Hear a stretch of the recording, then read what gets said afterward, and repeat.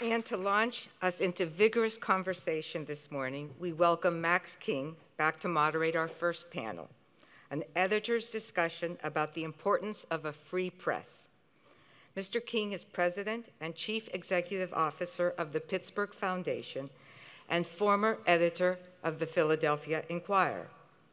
He has previously served as president of the Pittsburgh-based Heinz Endowments and as founding director of the Fred Rogers Center for Early Learning and Children's Media at St. Vincent College in Latrobe, Pennsylvania.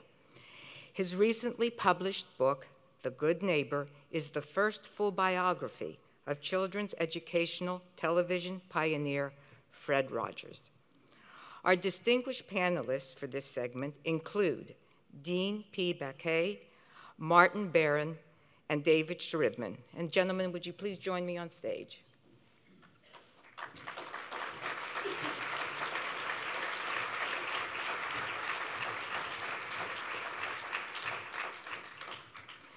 Dean Baquet is executive editor of the New York Times, where he previously served as managing editor and Washington bureau chief, and earlier in his career served as national editor and deputy metro chief.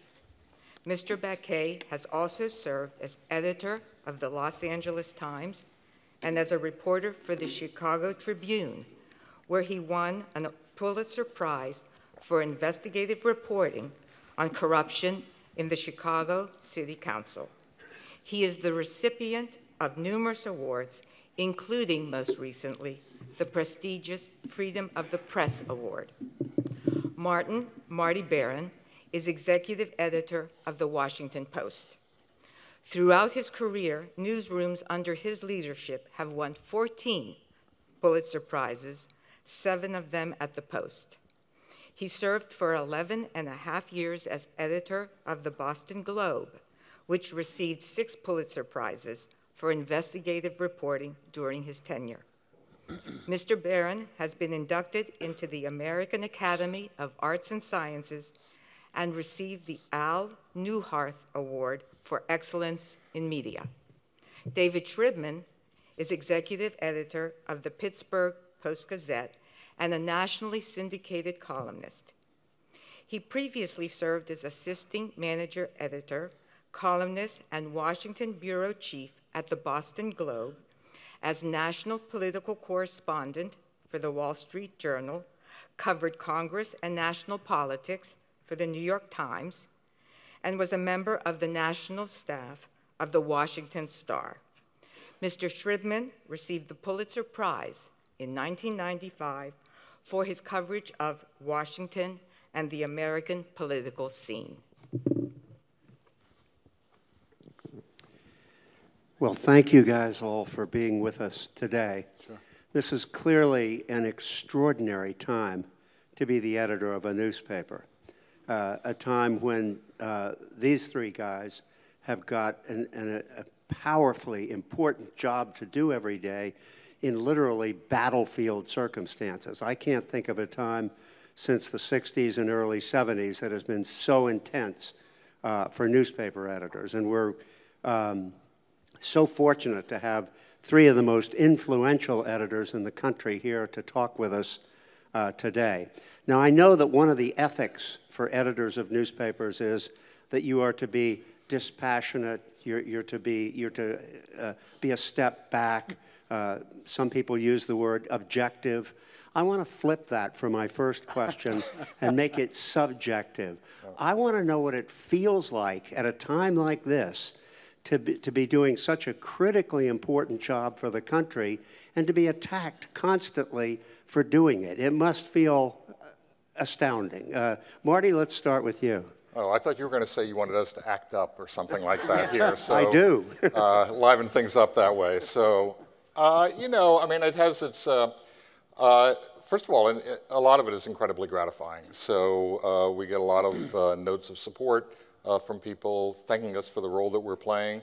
Uh, they, uh, I think a lot of people in the past had taken for granted the role of news organizations like uh, ours, uh, and now they don't take us for granted anymore.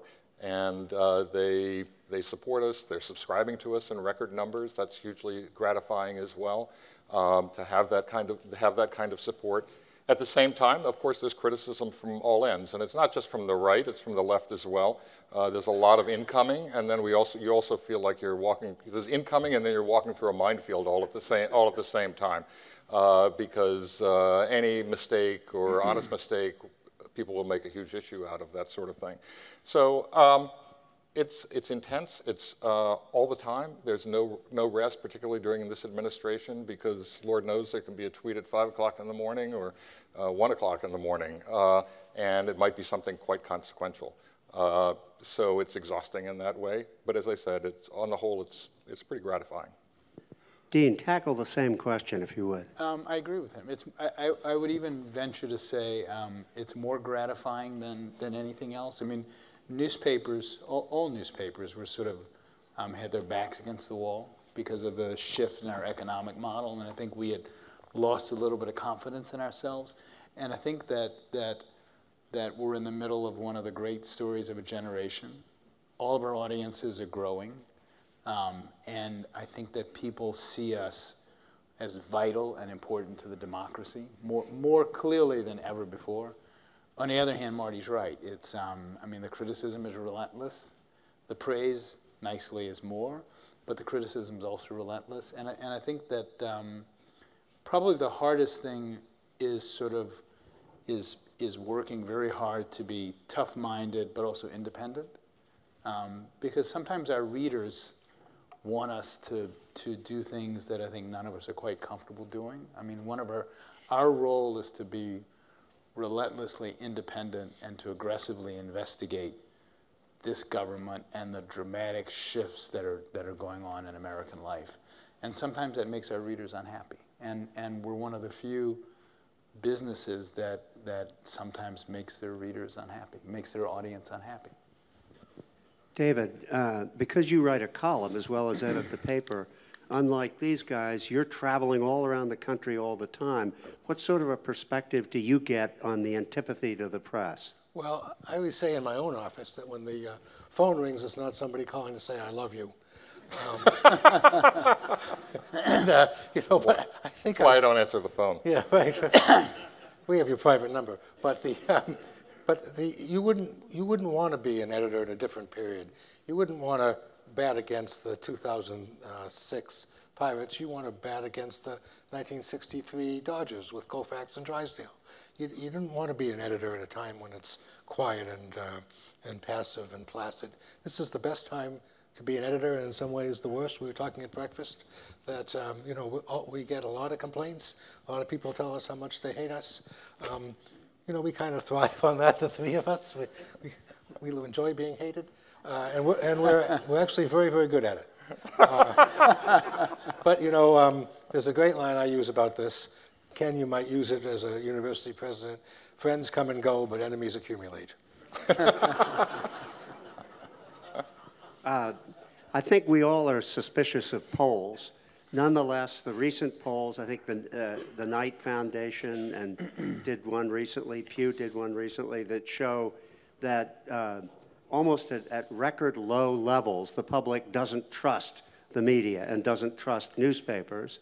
And I know that, that for each of you, one of the important answers to that is to just do more strong, good, honest journalism. But is there another answer? Is there Well, something else that you should Hang be hang on, Max. Yeah. Those were the same polls that said that Hillary Rodham Clinton was going to win 42 states, right? So um, I like to, to quote Marty on this. Uh, what, what we're doing is we're doing our work. That's what we're doing here. And it's nothing, nothing more complicated or nothing simpler than that. We're just doing our work. But does the work speak for itself, or do you need to do it doesn't. something It- else? It doesn't entirely. I mean, I think you have to take, the- you have, to- first of all, you have to put those polls in context. Uh, Confidence in pretty much all major institutions in this country have seen a dramatic decline. Uh, I like to say, hey, we're better than Congress. Uh, It doesn't say very much, uh, but, uh, but you- if you look at confidence in, in, in big business, that's declined. Confidence in religious institutions has declined. Confidence in, uh, in pretty much every institution except for the, except for the military has declined. Uh, And so it's within that context, and we see a decline in in pretty much all, all major institutions in this, in this democracy. Uh, we've actually seen an actual somewhat uptick over the last couple of years. It's nothing really dramatic. And what you see is a high degree of polarization. Uh, so people who have, people who are on the right, they have a huge amount of confidence, let's say in Fox News, and very little confidence in a lot of other media institutions. And people who lean further to the left, they have a lot of confidence in some of those other institutions and zero confidence in, in Fox News. So uh, it's a highly polar, it's just a highly polarized environment. And I think, you know, we make a mistake when we aggregate it. What can we do? I think what we try to do and what we are, are all trying to do is try to be more uh, transparent, uh, to talk more about the kind of work we do, how we go about that work, who we are. Look, on our site, we, you can you have my phone number. You've got my, uh, although I don't answer at the phone, but uh, but I will get your message. Uh, and I have my email. Uh, you have our, all the backgrounds of everybody who writes for our organization, their, their professional background, their educational background, everything about them. You have our ethics code, you have our ownership structure, you have, uh, we are as transparent as we possibly can be. My One phone of the- number's in the Pittsburgh book. One of the things I would, I would add about transparency, when, when I, when I was, a- when I was the editor of the Los Angeles Times, we did a, a readership survey, and one of the great shocks to me was that people saw the date line on a story and didn't, and, and many of our readers didn't know that the person, that meant the writer was there. And it broke my heart because one of the date lines we showed was a reporter who was in, who had been in Kabul for a long time. So, of course, some people think that we're not that we're not credible because they don't know that that reporter lives there and spends all their time there. So, you know, I think we need to be more transparent. We we did not grow. I didn't grow up in an industry that was transparent. I grew up in an industry that was so heavily dependent on advertising that we didn't engage with readers enough. We didn't tell them what we did. We didn't own up to our mistakes. We didn't tell them how the sausage gets made. We didn't tell them how, despite the fact that we, we of course, are imperfect, I, I mean, it's remarkable how much news organizations get it right. And I think we should just be more open, the way, the way Marty said, I agree. We should be more open, honest with people, tell them who we are, let them have a look.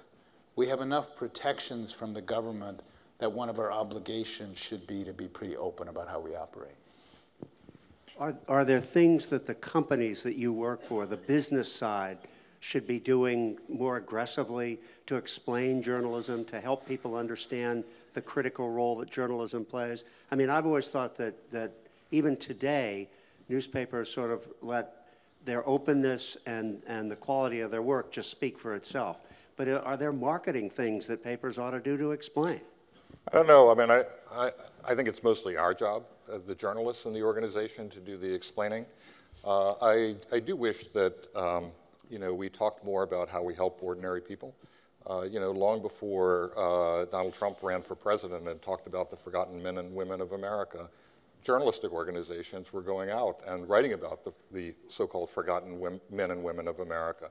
And there are numerous cases of instant, instances where uh, you know, the reporting that we've done has brought attention to people who were being abused by powerful interests, uh, who, who, who, suffered from health and safety conditions that put their, their lives and their health in, at danger, you name it, all across the board. And we do nothing to sort of publicize that. And I wish we did that uh, because uh, I don't think that people really recognize that. You know, yes, there are the Pulitzer prizes, the recognition, but that's all within our within our within our profession. Uh, but you know, if you go back and you look at sort of public service Pulitzer prizes, those are really uh, it's, it's, pretty extraordinary the kinds of things that people have, have won for, and we do nothing to publicize that kind of work. Uh, I, I certainly agree with you, David, that, that polls are suspect. But I want to cite one thing that struck me because I think it tells us something about where this antipathy comes from. Uh, in one of the polls, 45% of the people uh, who are saying they don't trust, uh, particularly newspapers, referred to, to fake news and alternative facts in a way that suggests to me that to some extent there's been a successful campaign by this administration Yeah. to discredit you. And, and how much of that uh, is a factor and uh, worries you and is important to address. David, Well, it, wor- it worries me deeply because, you know, I sometimes say that in the 16 years I've been editor here, we have not knowingly published one paragraph, one sentence, one word or one syllable that we knew was false. And as for alternative facts, there's no alternative fact to the fact that the sun is 93 million miles from the Earth, or that two and two is four, or even the, or the quadratic equation, whatever that is, I've forgotten. Uh, but I mean, there are no alternative facts to that, and I, I'm impatient with that, uh, with that notion, and very concerned that the administration and others have sowed that in the American mind. And I think it's, um, it's, it's a real problem for all of us. The, I, there's no question that the, that the president in particular has tried to undermine the press um, and that it's harmful. He's tried to undermine all independent institutions to a certain degree, whether it's the judiciary or the press, and I think it's tremendously harmful. I mean, it's, it's harmful to be, to be, for people to be told repeatedly that we make stuff up, which we don't. Um, it's harmful to be told it's, it's remarkable for an American president to say, don't believe what you read in the press, believe what I say. Of course, that's got to have a harmful impact. I, st- I still believe in the end that we're around longer than presidents, and that our job is to stick to our guns, be transparent, truthful, and, independent. But of course, that's harmful. You know, uh, I actually brought along a quote because I knew this would come up. But, you know, um, right after uh, uh, Donald Trump won the GOP nomination, he was giving an interview to Lesley Stahl, and after the interview was over, uh, she asked him, why do you keep uh, demeaning the press? Why do you keep using this fake news uh, term and that sort of thing?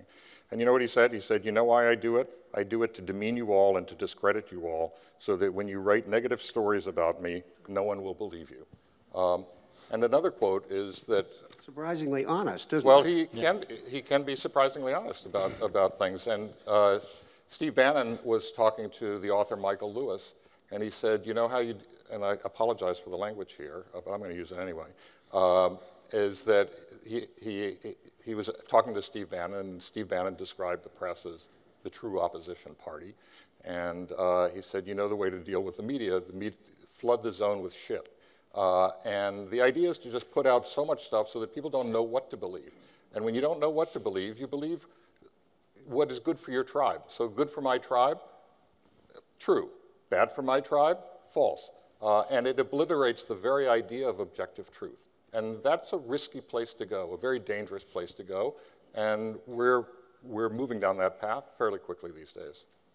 I know that you're, that you all, at your papers, um, uh, feel that you're, you're combating that with the aggressive and honest journalism you're doing, but I want to bore in on this and, and ask you, are there other ways, and, and certainly the panels like this is another way to do it, but are there other ways for the press to combat the idea that somehow it's corrupt? Well, one, this is a good example of the kind of stuff we have to do. I suspect all three of us do more public appearances than all of our predecessors did. I think we have to talk about what we do. I think we have to go to the reader. I think we have to travel outside of our own circles and talk to people. Um, I think we have to get it right. I think we have to be honest when we don't get it right. Um, and then I think we have to relentlessly report and be accurate. I know that seems like the, the playbook from a different era, but I actually think that that playbook is even more valuable now because we're much more dependent on readers than we were on advertisers. Um, and I think that doing expo- I mean, all of our audiences are larger. I mean, more people read the New York Times today, many by, by many, many degrees than ever before. So for all of the distrust, for all of the attacks, that also means that a larger number of people turn to our institutions for what they, for what they know is the truth. But you have changed.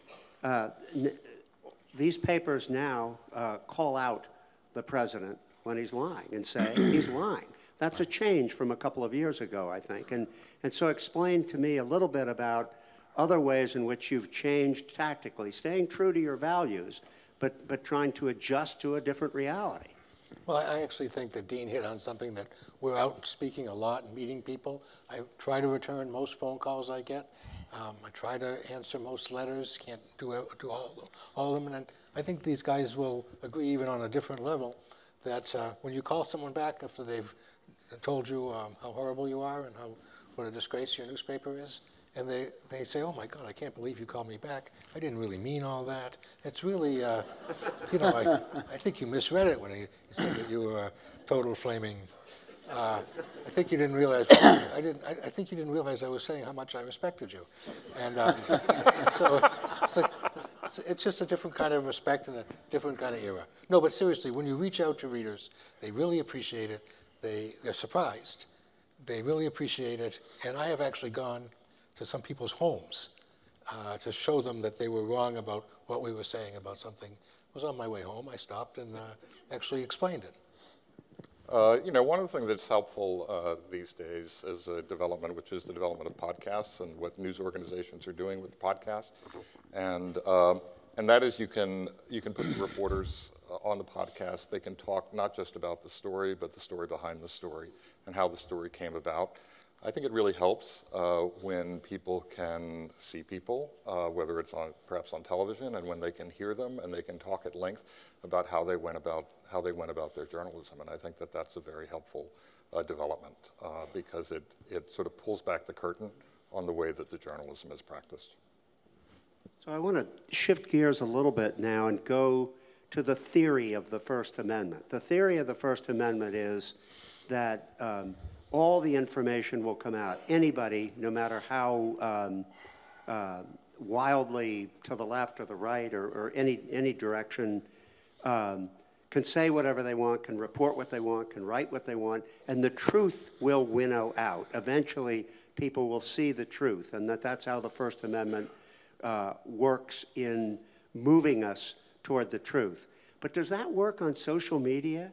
I think what we see on social media is people digging in, going to their own camp, and I worry that we as print journalists are facing a very new and different world in, in, the internet and social media that maybe behaves differently when it comes to the First Amendment and the truth winnowing out. I'll tell you how deeply troubling this whole thing is, is that the other fundamental notion of the First Amendment is that this is a government uh, that's created by people who, who vote, and the, the uh, underlying notion is the people who vote should know what the hell they're talking about.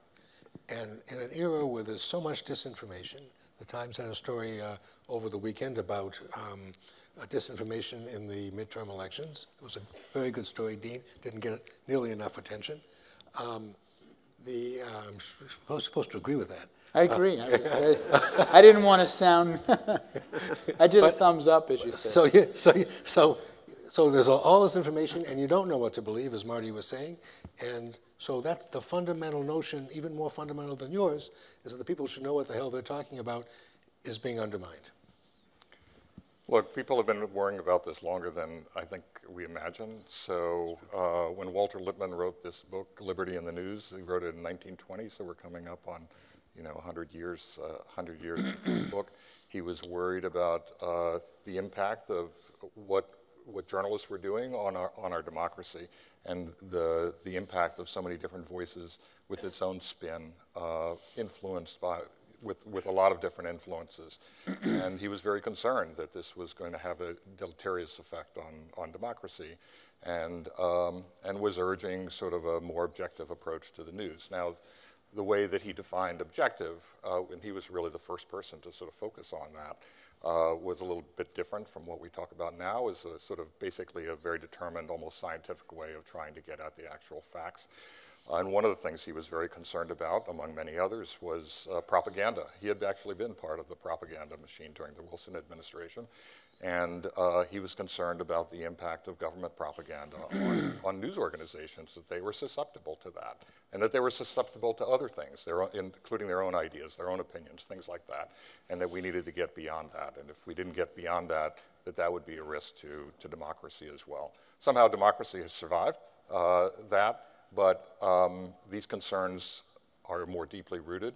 I think they, they are aggravated these days because there are so many places and so many voices now with the internet and with social media uh, that people will migrate to, to sources of so-called news or information uh, that, that affirms their pre-existing point of view, and then they won't be open to information that comes from other sources.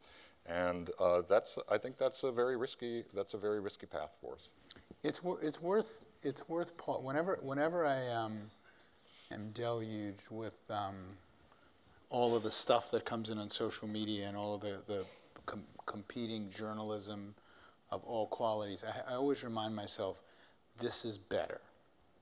And we shouldn't forget that. We shouldn't get so caught up in, in, um, in our criticism. I grew up in the South with two newspapers available to me and three local television stations. And, and the two newspapers at the time were not very good. And that same kid growing up in New Orleans can choose to read any number of newspapers online, any place in the world. That same person has available to him, that same kid has available to him, a whole wide range of opinions. Yes, it's harder to, to separate the wheat from the chaff, but I, it, it's worth slowing down and saying that's still better than a period in society when you only had two or three voices and when the world seems so much smaller. I, I'm, I'm probably a, a, a little bit of an idealist, but I, but I think, as most editors are, I think over time this settles down, and it's but it's it's better. It's it's crazy making. It makes my life miserable sometimes, but it's better. But the burden has shifted in a really significant way. Uh, Marty, you referenced uh, Walter Lippmann and his, his theory, which really put the burden on the press, on, put the burden on the newspapers and the editors to make sure that things were objective, that, that, that things were neutral, that things were balanced. It seems to me that with, Not with that they were neutral, that they were factual. yeah, thank you. The, um, the change, though, in, in this uh, high-tech, uh, social media, internet world really shifts the burden, I think, from um, the newspapers or, or the media entities to the consumer. The consumer's got to, got to play a much bigger and more aggressive role in being judgmental about what they're getting. And are they playing it that way, or is it not working?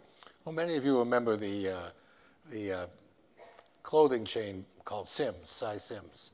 And his advertising uh, um, line was, an educated consumer is our best, is our best customer. I would say the same thing about the Post-Gazette and about the Times and the Post. An educated consumer is our, is our best customer. And yet we, under, we understand that a lot of people, you know, want to migrate to the things that they agree with. That's an American tradition too. How do you think the French, the um, American Revolution began? I mean, the committees of correspondence were not objective uh, newspapers. They were the uh, stuff they put out was uh, had a certain ideological tinge to it. Uh, it wasn't particularly congenial to the King of England. Um, that's an American tradition. Only in really in our lifetimes, or, or a little bit a little bit bef- before that, has American journalism been as straight as it is today. You know, I, I've been asked a, a lot by people, well, how do I know, how do I know who to trust? And, you know, one it's it's a tough question to answer, uh, but I think you have to go through a series of steps. Uh, I mean, one of them is, um, uh, is this a news organization that allows a variety of opinions, for example, on its op-ed pages, if it's, an, if it's a newspaper, uh, or does it only have one that it offers? Um, so, for example, on our op-ed page, we have a wide range of, uh, a wide range of opinions, uh, on and we encourage that, and we're constantly looking for new voices to be there. Uh, is this an organization that actually has reporters? Do they have a substantial staff? Uh, we have about, at the Post, we have about 850 journalists in our organization. I can tell you that if we were engaged in just fabricating stories, fake news, uh, I don't need 850 people to do that. I can assure you. I can save. We could save a lot of money, um, and a couple of people would be fine.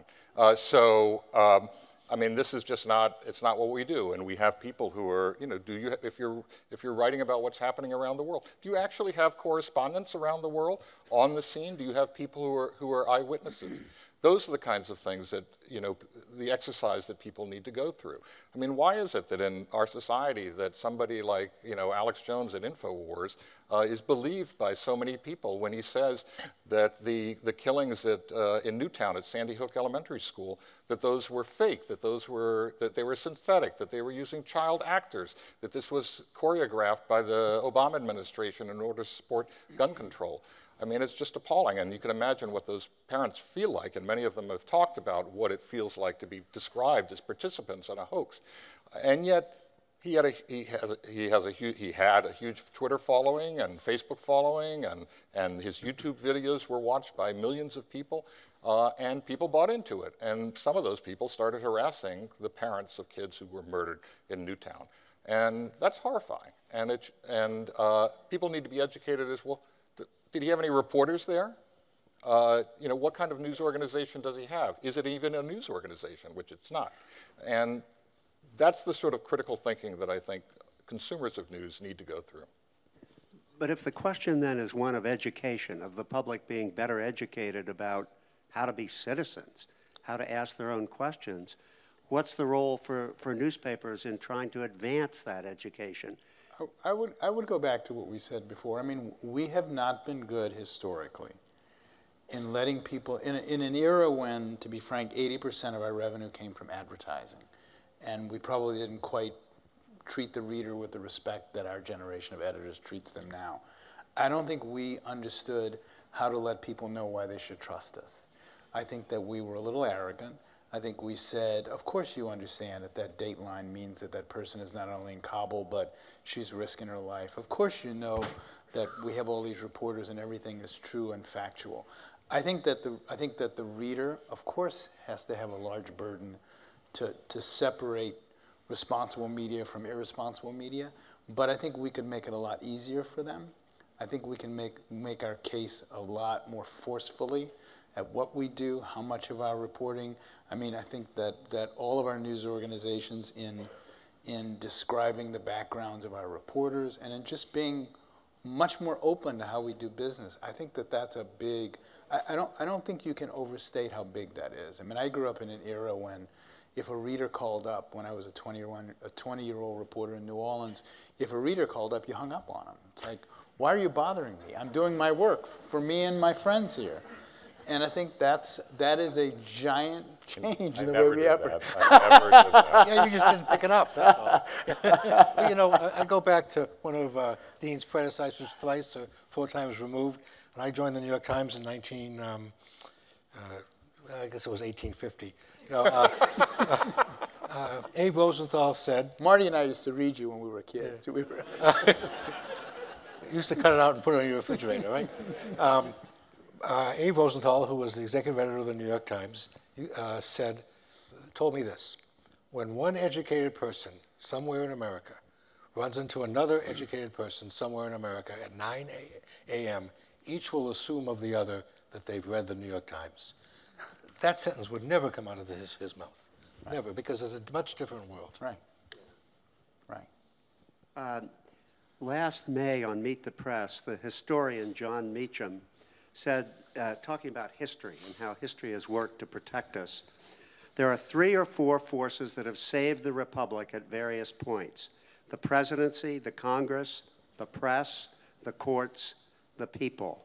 And it seems to me today that we're pretty reliant on the press and the courts. How does it seem to you? Well, first of all, I want to make a concession, and Marty, you don't know this, but when I was working for you as Washington bureau chief of the Globe, and you were editor, uh, editor of the Globe, Jon Meacham applied for a job at the Washington bureau, and I turned him down.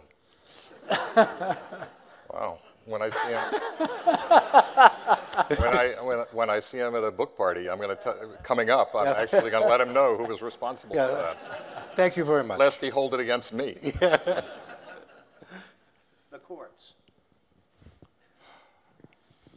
Look, everybody has responsibility in a democracy. I think it's. Re- I think one of the, we were talking earlier about the decline in confidence in American institutions, not just the press, but certainly the press, but other institutions as well.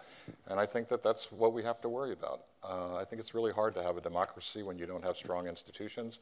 I think it's really hard to have a democracy when you don't have people agree on a baseline set of facts. I mean, we should argue about policies. People should argue. They should argue vigorously about those sorts of things. And that's why we have a democracy. And I think that's one of the great things about a democracy is the competition for ideas. Uh, but ultimately, you have to agree on a baseline set of facts, like what happened yesterday. Uh, and it's concerning when, that, when we don't have that. Uh, I think that much of the press is, is trying to do its job the way that it should be done, uh, taking a lot of flack for it, but that's okay uh, because I think we have a strong we have a strong sense of mission. Uh, the courts, as far as I can tell, seem to be doing their jobs the way that they're supposed to be done.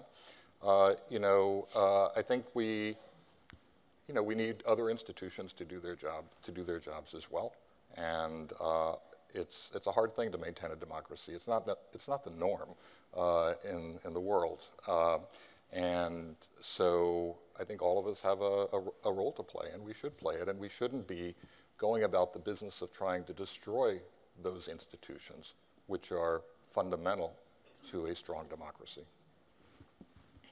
Well, I would, I would go even further and to say that uh, America, you won't expect, expect to hear this from panel of editors, but America is stronger when it has a strong Republican Party. Uh, Republican Party has been a major part of our, uh, of our country since 1856. Um, it's, it's in a different, difficult situation right now, uh, and we need all of our institutions to be strong. The press, the Democratic Party, the Republican Party, the judiciary, and the legislature, which um, was once described as America's only, only native criminal class. Uh, so, I mean, we need them all to be strong, and it makes us stronger, and it makes our, our role even more enhanced. It David didn't want Jon Meacham in the Washington Bureau of the Boston Globe because he wanted only one historian in the Washington Bureau of the Boston Globe.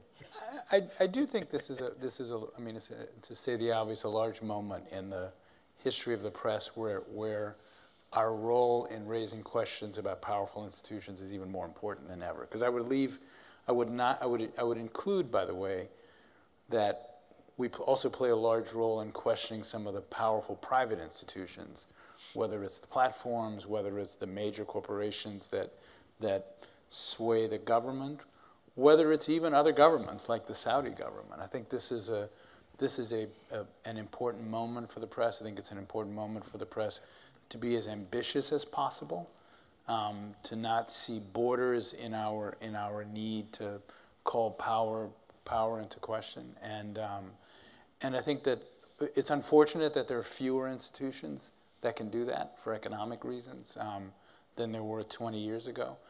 But I think it's an important. I mean, you know, the, Uni the United States is is at war in various parts of the world in ways we don't understand and don't know which predates the Trump administration.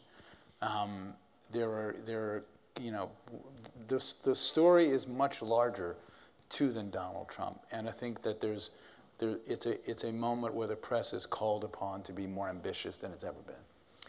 You know, uh, some people sometimes ask me when they're thinking about a career, why do you want to be a journalist? And I say, well, it's great because you get to ask impertinent, impertinent questions of your social betters.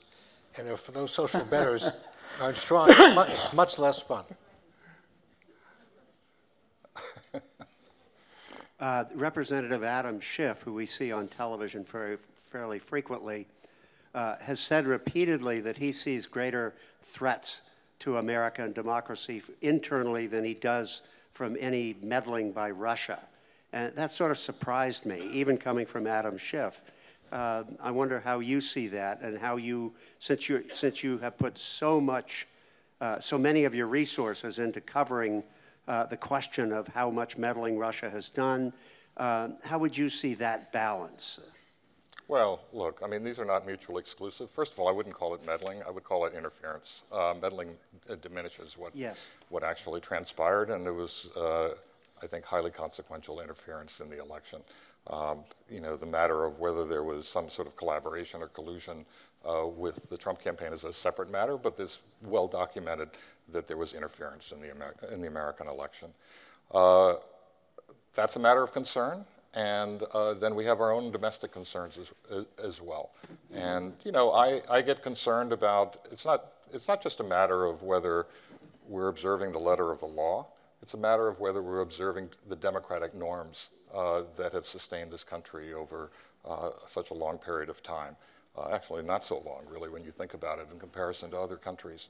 Uh, and it's how we behave with each other, whether, we, whether there are modes of civility, whether we can have disagreements uh, without uh, seeing each other as the enemy, uh, without describing each other as the opposition party, whether we recognize that there's a role for the press as written into the, written into the, you know, the First Amendment uh, that, that there's respect for the role as, you know, James Madison talked about examining public characters and measures is what he talked about. That's what we are supposed to do in addition to public characters and measures. I think powerful institutions and powerful individuals who have an impact on the lives of ordinary people, we're also supposed to, to look at that.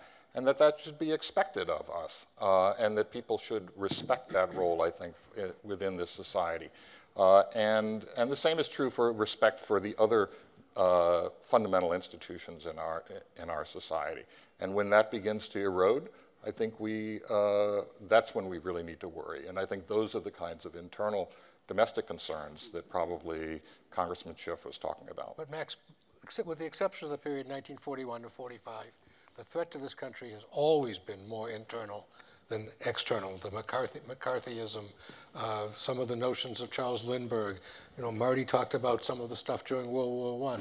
Surely the uh, Civil War and the uh, Alien and Sedition Acts. The threat, the threat to our democracy almost always is more homegrown than external.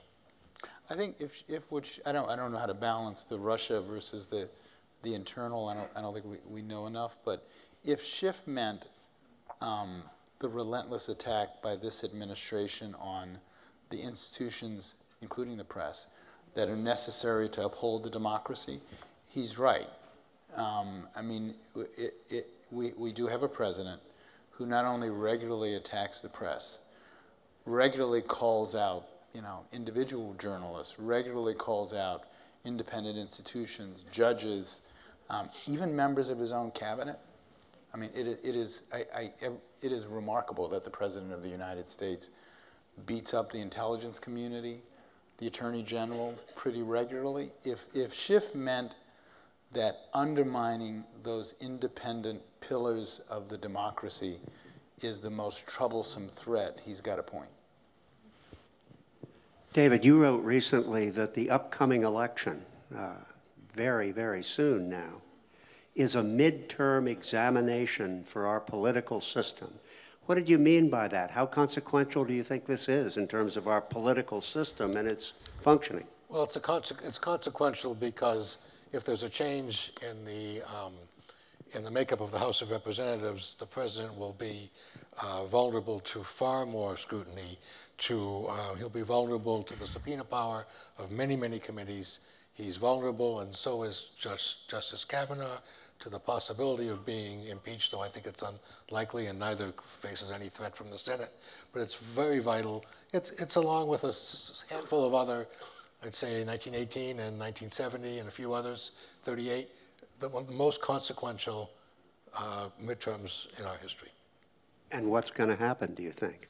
uh, for $2 on the 8th of November, we'll tell you all about it.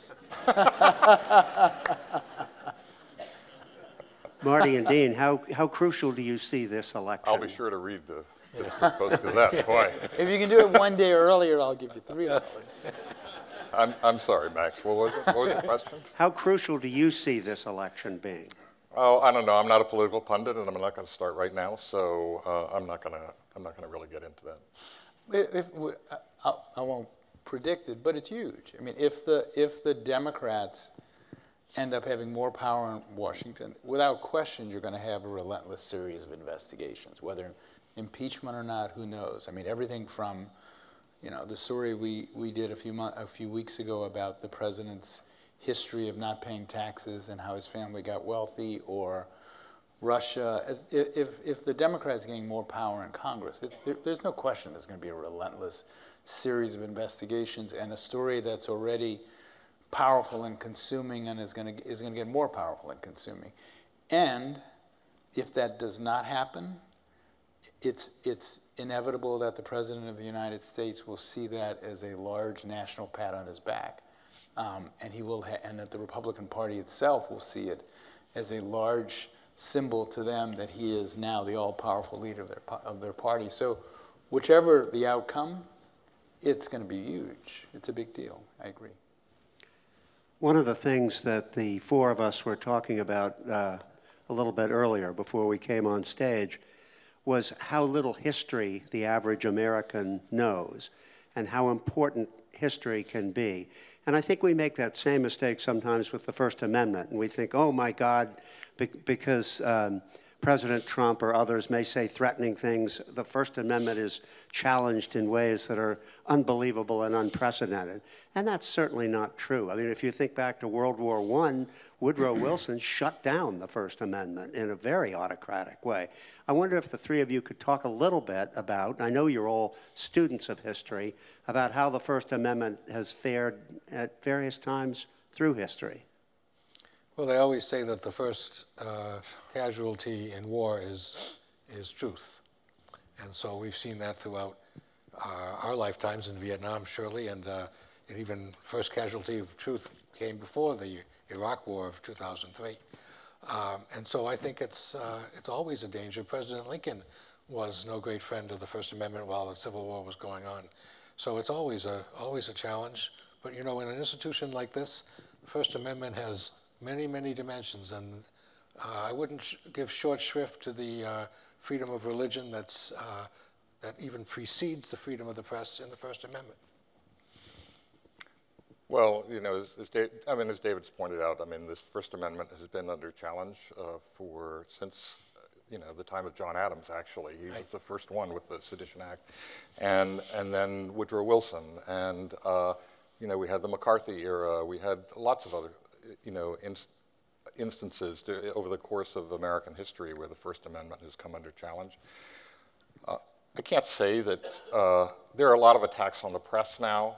I think there's an effort to sort of marginalize us and uh, uh, and to basically undercut us and undermine our role in, in American society. I think it's highly corrosive over the over the long run.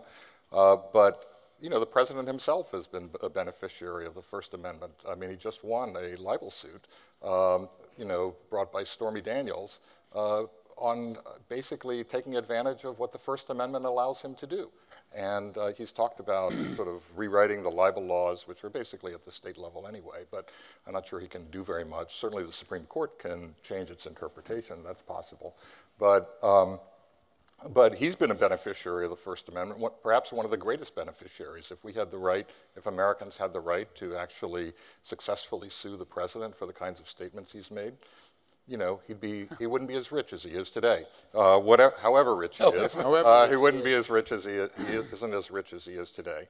Um, you know, I, my view is that uh, uh, there's a quote that I like, which I also brought, uh, which is um, this quote from Justice Robert H. Jackson in a 1945 ruling on behalf of the First Amendment. And uh, he said, Every person must be his own watchman for the truth, for truth, because the forefathers did not trust any government to separate the true from the false for us. And I really believe that. And uh, we don't want to end up in a situation where people say the only person telling the truth is the head is the chief of state, the head of state. And uh, we have to be our own watchmen for, for, for truth. We have to get information from reliable, reliable sources.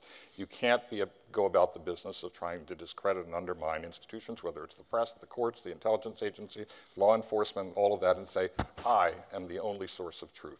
Uh, if we go down that, that road, then we're heading to a, a, a system that I think none of us will, will recognize. I think this, this president may be extreme, of course, not maybe, he is extreme, but I don't think I've covered a president as a reporter, Washington bureau chief, or editor of a newspaper who truly, truly practiced full disclosure. Um, I, don't, I don't think any president that I've ever been involved in covering felt completely comfortable with the First Amendment. I think they did, they may have sort of morally felt comfortable with it, but confront, when confronted with hard questions about the way they conduct war, when confronted with hard questions about the way they make internal decisions that when they made mistakes, I don't think there's been a president who's been completely comfortable with it, which is why us our institutions being, being independent and credible are so important? Well, you know, the courts expand and contract law in a variety of ways through history. And in the last 60 years, the courts have really expanded the reach, the breadth of the First Amendment in really wonderful and significant ways. But is there a fear that maybe the courts in the next 20 or 30 years will contract a lot of those freedoms? Go ahead. Sure, uh, David. Oh, thanks. Well, yeah, You're, of course. David, you're the historian around It's here. always that fear. It's always that fear. But take a look at the three of us. Do we look particularly lovable? Um, well, Yes. Marty, you maybe. But the, I mean, we're pretty stubborn here, and we, we know how to fight, and we know how to do our jobs. And I, I think the First Amendment is in uh, good hands when these two gentlemen are editors of the two most important papers in the country, and there are other editors across the country who are fighting to do their work and who believe in. We are the actually. I want to say this: we are the last believers. We believe in the United States. We believe in the Constitution. We believe in the Bill of Rights more than anyone almost on, on earth. We, we, we are so naive that we actually believe in it all. Stretch, if you, if you stretch the, the definition of attacks on, on press freedom to be even a little bit beyond the First Amendment, I worry about the proliferation of leak investigations. I worry about that this administration and this Justice Department has made it very clear that, um, that they, that they don't like leaks, that they don't like disclosures of information they don't think should be disclosed. It just so happens that we're at a time of technology and warfare and the rise of intelligence and the rise of the military, that there's a lot of stuff that's going on in the world involving the United States that people don't know about and don't understand. And I think those and, and we, we are completely reliant on anonymous sources and classified information to understand what the U.S. role is in Pakistan, what the U.S. role is in Syria, what the U.S. role is in, in Niger and all over the world. So the attack on the, the, the constant investigations of leaks scares the hell out of me. And, and I think that's going to continue, especially if, if you outline a, a plan where the Republicans maintain control of Congress. And I think that's really scary at a moment when so much of what we know about what government does is going to come from anonymous sources and is classified. We're just about out of time, so I wanted to give each of you 20 or 25 seconds each for a final thought, something maybe that we haven't even covered that you think is important. David? I think that we have a panelist on this panel who actually knows how to pronounce Ni- Ni- uh, Niger. Niger. Tells us that the New York Times is in good hands, and so is the press. Uh, gee, I don't know that I have a grand final thought, except that, you know, I mean, I do think that, um, just to reiterate, I think there's a term- determined effort now to try to obliterate the idea of objective fact. Uh, and I think that as a democracy, we need to agree on a baseline set of facts. And uh, there are organizations that we're, look, we have, we're flawed, for sure, uh, because we're human. We're like people in any other profession. We make mistakes.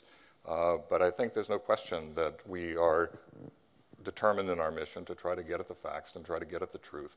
And uh, that's a, you know, on, when I walk into our newsroom every day, uh, I look at the principles that were set down in 1935, and the first one is to tell the truth as nearly as the truth may be ascertained.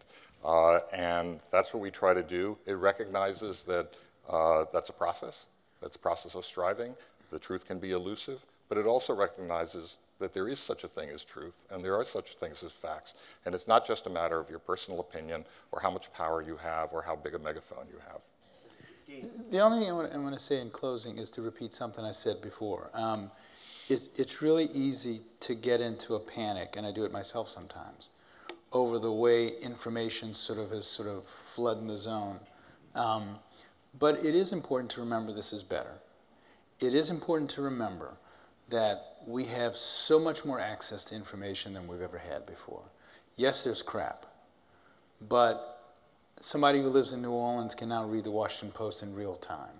That's a big deal. When I was a kid, I could get the New York Times at the library a week and a half later, and I couldn't get the Washington Post. You can get the Post Post Gazette in New Orleans, by the way. That's okay. Yeah. Well, that's in real time too. But I think that's a, that's a, we just can't, we can't get in such a panic, and I get the panic, I'm panicked too. We can't get in such a panic that we forget that. That's huge and significant. Thank, thank you, Dean. And please, all of you, join me in thanking this extraordinary Thank you. group of leaders.